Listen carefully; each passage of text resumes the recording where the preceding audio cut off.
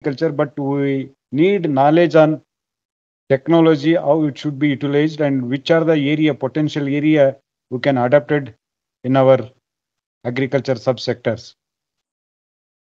That is the most important area as a agribusiness student we look for.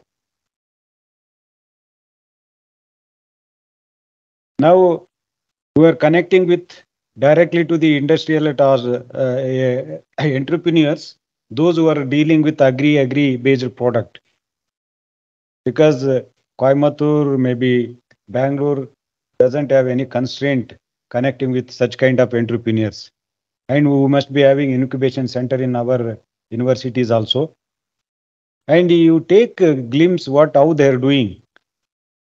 We have 32 incubate, incubate in our uh, Uh, university, three year of uh, agriculture. It's very unfortunate. And they're addressing and dealing with agri uh, and agri products. Maybe we are lacking confidence or uh, we have strength, we don't have strength to address the issue related to agri-business or agri-allied business. But you should take up challenge and work on those areas. There are many tools now. We, we may require one uh, maybe technocrat for uh, addressing such kind of issues. Now we are connecting with RV College, RV Engineering College. The third year and final year students, they are developing many tools for uh, use in agriculture. Because just only agriculture and agribusiness cannot, and we need some supporting or aligning to sync our business with open economy. That's why we are linking with some graduates, IT graduates of other colleges with our student. We are requesting and rating if they are in internship, we will also collaborate with them and asking them to develop some tools or models or maybe advanced technology for implementation in agriculture. Now our engineering students, they are most uh, uh, proximity to agriculture. And now uh, this Hexagon, you must have heard, German company, now they invested in our university with the cost of 110 crore project. And mostly they are having this Center for Innovation in Development of Sustainable Agriculture. That is usage of drone in agriculture, IoT in agriculture, precision farming in agriculture. Now we are uh, linking with our, our student with agribusiness student with particularly engineering student. Because we can get something from them. They have basic technology and what are the data they required you can supply to them. Maybe related to consumers consumption pattern maybe may requirement of market demand then market size. You can just uh, support to them for providing such kind of data. Then they easily build a models. That's why i request uh, students can also involve. You you may fail. Failing in uh, first attempt second attempt and third attempt. You join together. Maybe engineering even agriculture. Because you think only agribusiness they are also thinking agriculture. How you can sync with these two allied subject that that would be your motto. And always university or our institutes are committed to produce high quality graduates not just uh, giving certificate. You must understand. You should have a skill set or knowledge improvement over a period of time. You might be getting sufficient time here because most of them are put in hostels, I hope. Or otherwise also, we will get sufficient time for developing your skills. That's why always university under NAHEP also, we're investing a lot on strengthening of human resources. Lot of uh, ICAR support, even state government grants, even university is supporting for conducting many programs, advanced trainings to our student as our university maybe TNAU is uh, more better than UAS Bangalore because it's single university in the state. We have separate skill development center. Fortunately, in our, university, I am heading that is director skill development center. We every year we conduct 60 to 70 training program for student 50%, farmers 50%. That we focus on women farmers. Here also 50% of the training are only for conducting training. Now Rangnath is conducting, he was a student of this college, he is conducting Tableau, Alteryx and uh, BI applications. And simultaneously he is conducting business analytics by using data mining. That's why maybe students are benefited over and above their degree program.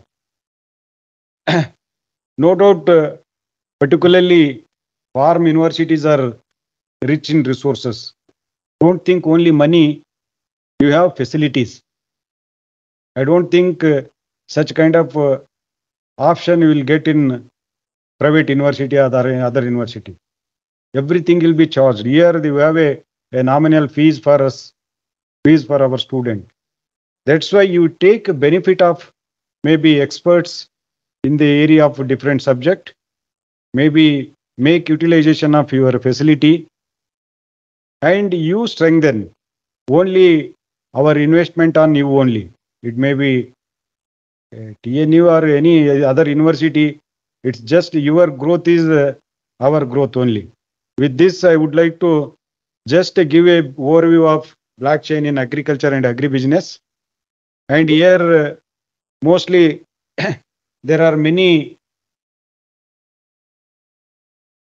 You when you talk about uh, blockchain, it is a shared and immutable ledger. It is just a, a manual ledger. We are uh, developing a soft version of this ledger and that facilitate the process of recording transaction and tracking assets in business network because uh, we may lose sometimes uh, ledgers physically maintained and here it is systematic uh, process of recording transactions. And you may come across any default or errors immediately pop up in the blockchain. And tracking assets in business network because everything cannot be written and uh, maintained. But here you have a multiple nodes and you can target and uh, track and you store it and uh, particularly blockchain technology was uh, very recently emerged. And uh, during 2008 as a core component of bitcoin cryptocurrency this was introduced uh, beginning. Then blockchain provides a transactional distributed ledger functionality that can operate without need for centralized trusted authority. There are different kinds of blockchain you come across and it is a robust and decentralized functionality of blockchain is very attractive for use with the global financial system but can easily be expanded to contracts or operations such as tracking of global supply chain also. Here we have a blockchain can work ledger, distribution, transaction, confirmation, proof of work, result. You know many bankers also they're using not blockchain, maybe some other tools or other technology. And easily they can identify you just earlier days if you want to generate ATM pin, how it was difficult. Now a fraction of minute, you will get a OTP then you have your own choice to change and or fix or put a your ATM pin. That's why now technologies are not constrained. Now they have advanced features and how you utilize that's very important. There are disadvantages too also. And you should uh, have awareness how to use it, this technologies. That's very important. The features of blockchain here distributed database of records in the form of encrypted blocks. It may be smaller data sets to a larger scale or a public ledger of all transaction or digital events. Each transaction in public ledger is verified by consents of majority of the participant in the system.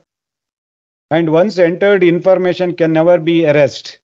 That is a, a beauty of blockchain because before that you can have a correction and a, a error modification but once you enter it cannot be removed or taken away This is accomplished without compromising the privacy of the digital assets or parties involved because they are not ordinary people, those who are using this blockchain, but only trained or maybe skilled people can only use. And this technology uses mathematical problems that requires the substantial computational power to solve. They're highly talented or maybe utilize these technologies. How does the blockchain works here? When you have a transaction is requested and a block that represents the transaction, in the mechanism of this blockchain transaction is requested, a block that represents the transaction is created, then blockchain sent to every node in the network, then it follows the nodes validate the transactions, followed by nodes receives the reward for the proof of work. Authenticity is very important here a block is added to the existing blockchain, then transaction is completed. This is how this works. This is the flow chart of this blockchain mechanism. And here, genesis of block, when you are creating some transaction, block will be created. And that will be latest block will take care of moving to node. Like uh, there are different block one, block two, any number of block can be created by individuals when you are into the transaction. Then we have a different types of blockchain here. One is public blockchain. Here we have a less permission in nature. Allow anyone to join and completely decentralized. Now that Zoom is working in that same, uh, who can have a control over at one end or sometimes you can allow them to join individually. When you have a public system, we will allow them to join everyone. When it is very personalized, we will not allow them to join independently. We will control at one point or one single point. That's how here also if it is a open to public and permission less in nature, allow anyone to join or completely decentralized. Public blockchains allow all nodes of the blockchain to have equal rights to access the blockchain. Particularly, this works in major cooperative banks. They have some rights to different members, shareholders, or members. They will allow them to have exercise their function or maybe their rights. And here, two common examples of public chains includes Bitcoin and uh, Ethereum blockchains. That is the how they started with the public institutions. Then private blockchains, as I mentioned here, it has a very stringent permission formalities. Here, people who want to join require permission from the system administrator. They are typically governed by one entity, meaning they are centralized. That means they cannot have access to other members uh, until unless you authorize to them or enter into the node. And for example, Hyperledger is a private permissioned blockchain here. This is highly fabricated with a lot of restrictions. Anybody cannot join in the business entity or maybe they cannot exercise their power. Here it will be authorized person by the single party can be allowed to enter into the market or business. Then we have a consortium blockchain. Here permission blockchains governed by group of organizations rather than one entity in case of private blockchain. Here, like particularly some institution, they follow such kind of consortium means we have a association between two or three organizations. They can have only a group of people can or uh, administrator can uh, allow them to exercise their power in the business. Then hybrid blockchains, here this is amalgamation of both private and public. It depends on the nature of work or maybe PPP mode they operates. here we have a both controlled by one authority with some permissionless process in case of hybrid.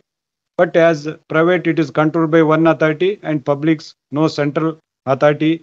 Anybody can, only member, large member can join and operate. consortium controlled by group. It is not individual. Maybe two, three people can sit and have a, their pin code, then they can operate blockchain. Then key, key principles of blockchain technology here, blockchain in the blocks in the blockchain, peer-to-peer -peer network, particularly distributed immediately replicated files. There can be n number of files can be created here. Then consensus algorithm, then cryptographic signature is important and smart contracts. These are the uh, particularly blockchain technology have control over no third party involvement here. And there could be a transparency, trusted transactions, data security. That's why this blockchain is not so popular in every field. That's the reason they have very limited usage in uh, particular areas. And mostly public or public organization not so immediately implemented this blockchain because there is a lot of uh, transparency in this. For example, we have a e-office. E-office can be implemented through blockchain, but we are not uh, going for that because everybody can watch and word on your file. If I created a file, I can have control. There is a time bond in particular file movement. If I putting extra time holding that file, I have to explain. If I am unable to explain, then there are many repercussions. That's why this is not uh, implemented in the largely in public institutions or public organizations. But private, they have more aptly they have used in many organizations because they have time bond. They have efficiency with time. That's why this is not becoming so popular in the field of public institutions or organizations as compared to private and consortium mode. Why do agriculture sector need undergo technological transformation? Satisfy the demands of growing population for more high quality food. Just I will tell one example. Earlier, if you want to purchase a food night time, and it is very difficult to get it. Now, round the year, round the clock, round the year, anytime you can have a access to food. And there is no restriction of your place. You need only internet connectivity. Is it? That's what uh, now this this technology transmission brought lot of changes in our life. That's why this advanced technology is solution to meet changing consumer needs, encouraging sustainable agriculture practices and lower environmental footprints. This how this agriculture is impacting earlier a food grains only physically used to sell. Now you can order grocery, all the grocery will come. Sometimes we used to postpone because we're inability to reach the stores. Now you don't require how agriculture can be made sustainable for using technology means? You have option means you can purchase lot. Uh, you need not to go physically. And any age group people can purchase. Earlier days it won't happens like that. If you are able to carry then only used to go physically and get the material in any quantity. Now you have a different quantity different amount you can purchase Earlier, we used to, my maybe father, our grandfather used to go village, this city market once in a while, maybe 10 days or maybe 15 days, they used to purchase all together, they used to come. Now it is not the case. This technology have been changed. If I want to 1 kg, I can order it, I can get it. This is how, how technology can change the agriculture scenario means this is how it has been changed. Now food system, or maybe food grain system or food pattern, consumption pattern, everything has been changed. Now it has impact on sustainability on agriculture. It is so or not? Students can tell they can order night time even after 8, 8 o'clock, 9 o'clock, you can get food. Earlier days, it was not happened like that. Even running these food courts or maybe hotels, it was difficult after 8, 9 o'clock. Now they are running round the year, round the clock. This is how the it has impact on agriculture and uh, decrease agriculture supply chain costs also. That is the most important. Establish and follow the sanitary and phytosanitary standards if it is export and import. Then sustain pro this port, portable operations of farmlands and agribusiness. Earlier used to you must have seen this uh, last time also I quoted this example Jagadishwaran Jagadishwaran in uh, Chennai sir Nalla Keerai. How they are operating? That is the best example for uh, sustainable agriculture. They grow almost uh, 10 to 15 leafy vegetables greens. And they are supplying almost uh, four to 5,000 families in Chennai. And with the traceability model, I can access where they are producing, how they are producing. This is how blockchain works. Now they are advanced in supplying many materials, food grains, particularly food, groceries, apart from fruits and vegetables, perishables. You just you Google it, Nalla Keerai, then you will get to know how they are supplying it. and increase the income of small farms, private farms, as well as fruit producers. This is the just uh, demand for information about food over a period of time. It is enormous changes in the requirement of food as well as different cost compliances also. Particularly, do not want to know most of the time, you will come to know many things about the food quality, sanitary, phytosanitary measures, and traceability pattern. This is how you can have a information uh, information about food. Then increase in percent growth of major crops. This is one example technology how it was transfer, transformed because uh, wheat production and rice production. It's a one example. Just uh, earlier days, uh, they used to store and uh, distribute to some other only some pockets of the country. Now uh, you can come to know what is the quantity available in the FCI or uh, warehouses. The even state governments also indenting advance. They are getting it. and due to that there is a indent based production system that has been enhanced the production across the country. And in particularly blockchain in agriculture, improving the operating process and get profitable result, sustainable business and reduction of waste.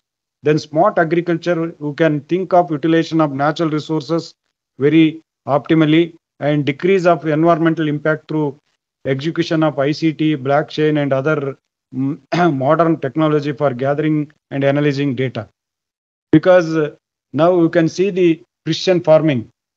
Will will you can use very appropriate dose of nutrients. We need not to disproportionately use in agriculture any chemicals or pesticides or fertilizers. You will come to know what is the requirement for plant. Accordingly, we can supply. That's how this advanced smart agriculture works in the field. This is a potential of blockchain in agriculture.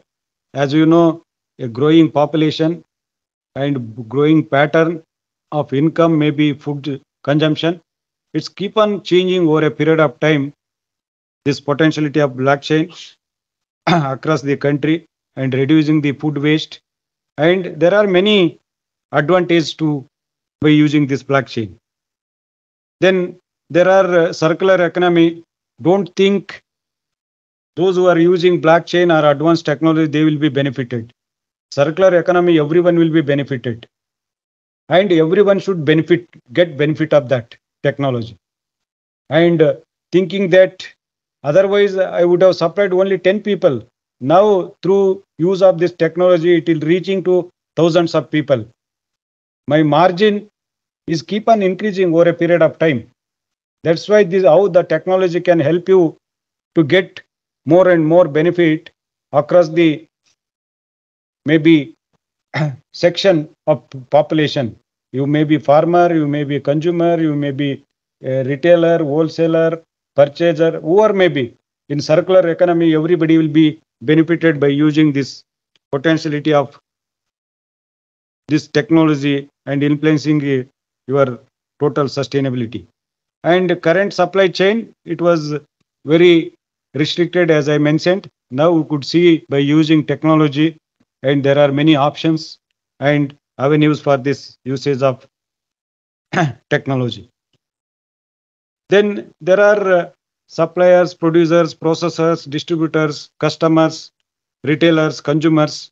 This is agriculture supply chain. These are distributed ledger technology. This is how FAO already given many advantages of uh, all the uh, technology usage in agriculture. Then impact of uh, this blockchain technology in agriculture, particularly simplifying all stages of agriculture supply chain. There are many models, uh, just I will tell you how they are using tracking the product along its entire path from farmland to store shelf. Now earlier, now they have a tracking mechanism of uh, reefer vans or maybe cold uh, chain vans, how they are moving, how much their time taking. This everything can be tracked. Now they have a hub of uh, hub, uh, send hubs, uh, this spoke and hub models also. They store vegetables somewhere and they distribute the different pockets of this city. This is how they are tracking. And here entire when it moves from farm to consumers, everything can be tracked. What is the time? For example, if you supply next day, there is a loss of maybe freshness or maybe quality. And ultimately it has impact on your value of commodity. If it is a perishable. If it is a non-perishable, it is okay. But you need to reach immediately. Now we don't want to wait. That's why everything can be tracked by using this BCT, improving food safety and eliminating uh, counterfeit items, then reducing the financial risk and promoting inclusive trade. Here, uh, reducing the financial risk means, see earlier, you know, this uh, Maggi pockets.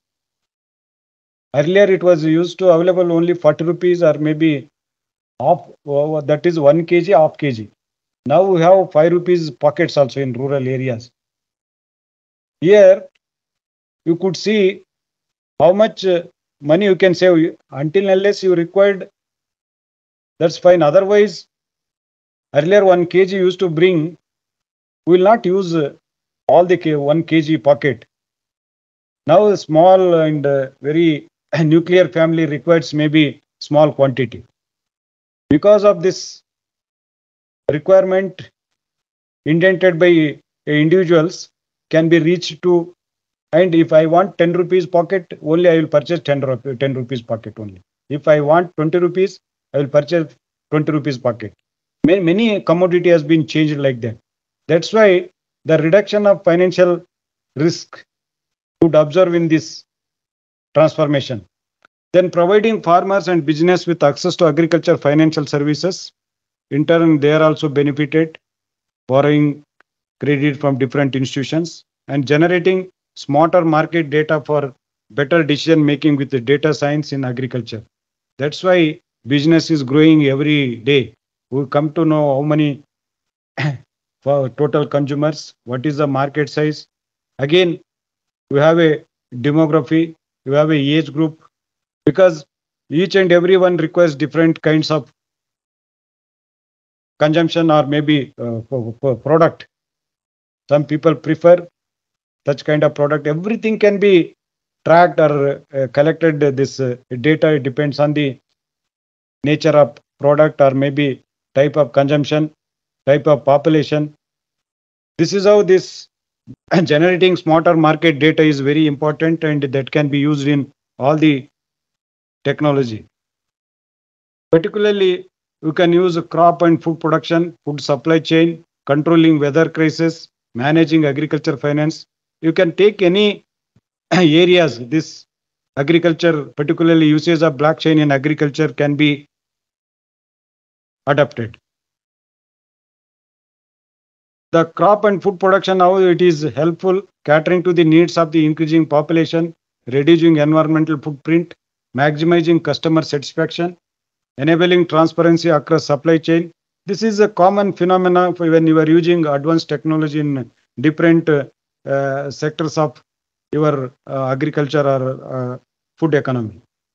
Like here, regenerative agriculture, satellite remote sensing data. Then there are, there are many automated incentive for regenerative stewardship, particularly this agriculture practices can adapt this blockchain technology. Then detailed process of how blockchain can transform the way of producing crops or food items, IoT devices generating data, cleaning and enrichment of collected data, making data more insightful with machine learning algorithms, data gets saved on the blockchain. Like uh, food supply chain also same uh, process, maybe different stage it differs with the food supply chain also. Then controlling weather crisis also. And we have a different features. It is inbuilt in the blockchain. Sorry. And managing agriculture, finance and trade. Here also very largely used in many private uh, financial institutions. Then traditional and blockchain model, as you see now importer, exporter, and uh, particularly earlier it was uh, very limited usage. Now letter letter of credit process, traditional model was blockchain model. Yeah, now it is increased over a period of time usage of credit also by the farmers as well as users. Uh, uh, that's how uh, this particularly encrypted document smart contracts to automated payment system has been made. Now, if I want to change my credit limit, I have to go, I have to produce a lot of papers. Now it is don't required. If you have a credit card or debit card, you have a encrypted uh, some codes. You pin it, then you can get it. A credit card can be easily enhanced your credit limit by clicking with encrypted maybe some OTPs. Otherwise, uh, it would not have possible. Earlier, it was many. Now, farmers also, some very registered uh, uh, farmers can have a, such kind of financial services from the different uh, private institutions. And it also definitely helps to small farmers, as I mentioned, food traceability, how they are producing, what is the quantity they are producing, where they are producing, reduced transaction cost and fair pricing, because now Indian-based production system has been evolved. You need not to go, farmers should not go to market. Now there are suppliers, there are uh, these pooling centers, they collect and they will bring to the market based on the Indian based production, they will inform to farmers, they produce. And that's how they're getting fair price as well as more transaction and reduces human error also. Then better access to financial grants and loans, as I said, used in crop insurance also. Particularly, there are more and more farmers are opting crop insurance due to enhanced their financial strength and abilities. And there are advantages, transparency, as I mentioned, smart logistics, and litigation-free leasing or registration of lands gain new markets over a period of time. Then barriers to blockchain adaptability, regulatory, there are uncertainty, lack of trust among users, ability to once you understand, then there is not be much problem. It's only awareness or maybe understand the uh, uses of these uh, technologies. The market size also increased over a period of time. That is by 2032 it will be CAGR of almost 50%. The TraceX blockchain, as I said, increasing consumer trust and loyalty, reduces the overheads of the product recalls and achieve the sustainability goals, ensure food safety by using traceability TraceX. Then uh, now there are some companies they are using this already blockchain technology because they have n number of product across the market, not only domestic, even international market.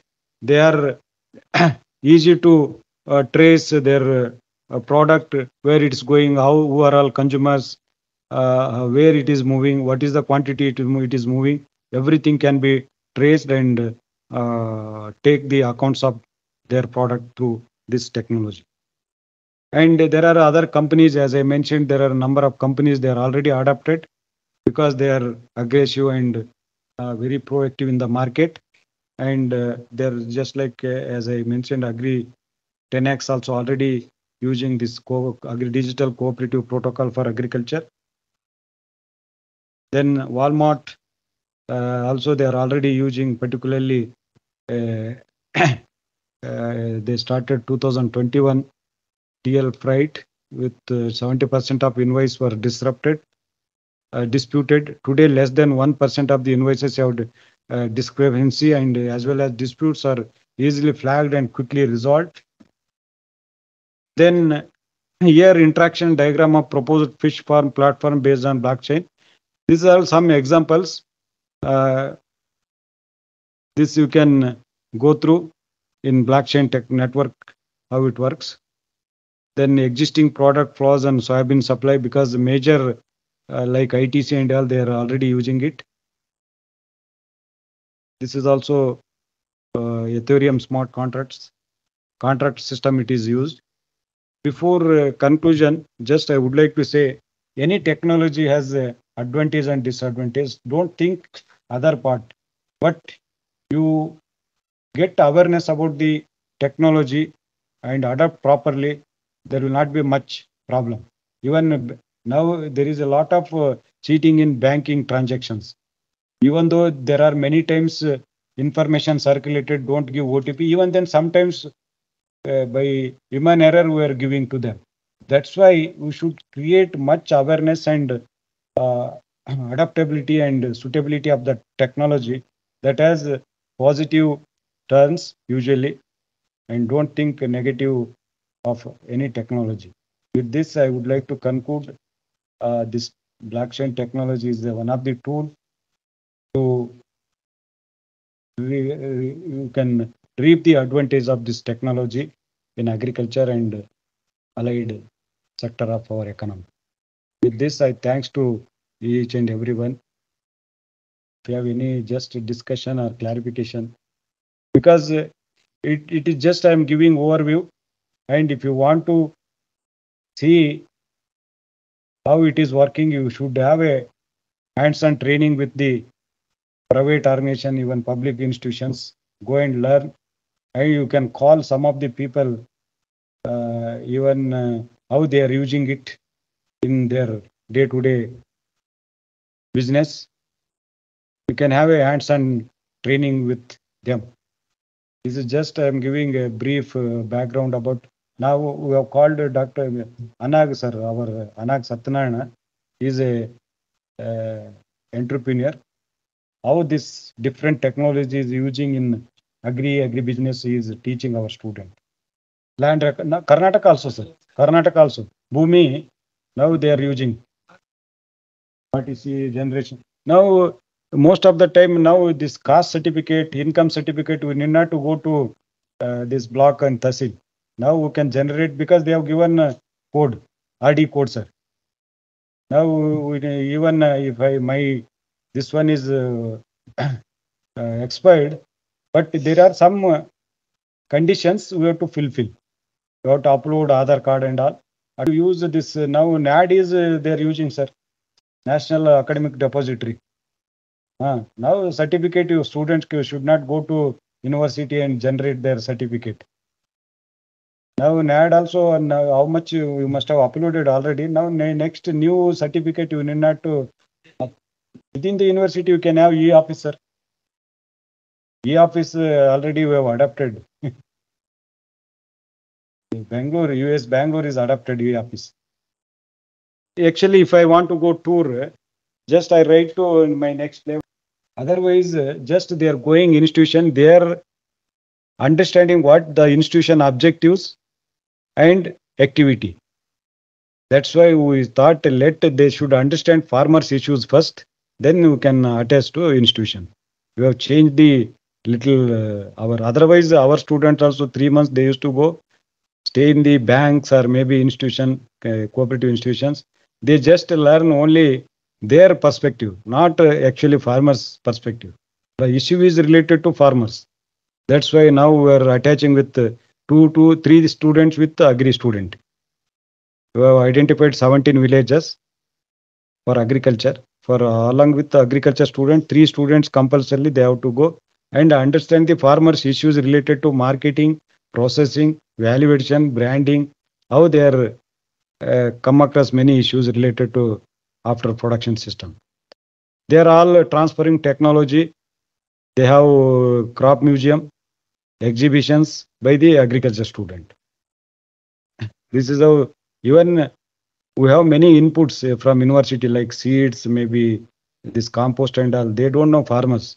That's why we were just taking them to